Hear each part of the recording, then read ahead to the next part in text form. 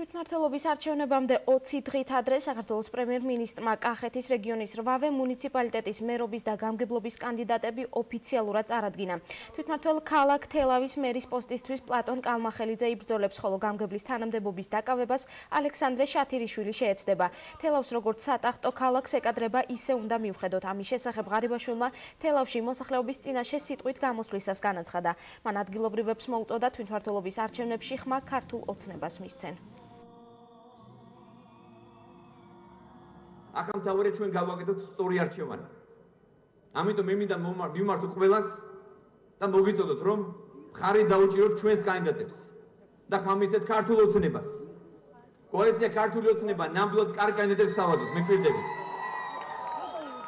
და ჩვენ აუცილებლად გავიმარჯვებთ. ჩვენ გავიმარჯვებთ საპარლამენტო არჩევნებში საპრეზიდენტო არჩევნებში, მაგრამ ახლა აუცილებელია რომ დავასრულოთ ეს ციკლი. ჩვენი პრიორიტეტები იქნება სამუშაო ადგილების შექმნა, ინვესტიციების მოზიდვა, ინფრასტრუქტურულ საკითხებზე მუშაობა, სოციალური პროექტები, სპორტი, კულტურა, განათლება, ინფრასტრუქტურული პროექტებიდან გამოყოფ განსაკუთრებით თელავის თეატრის იერსახის რეაბილიტაციას და ბატონის ციხის რეაბილიტაციას. ჩვენი პრიორიტეტები იქნება ისეთი მნიშვნელოვანი და წლობით დაგროვებული პრობლემების გადაჭრა, როგორც არის საავადმყოფო დღეს ფაქტიურად საავადმყოფო არ გაგვაჩნია და ვაპირებ სრულიად ახალი თანამედროვე საავადმყოფოს მშენებლობას.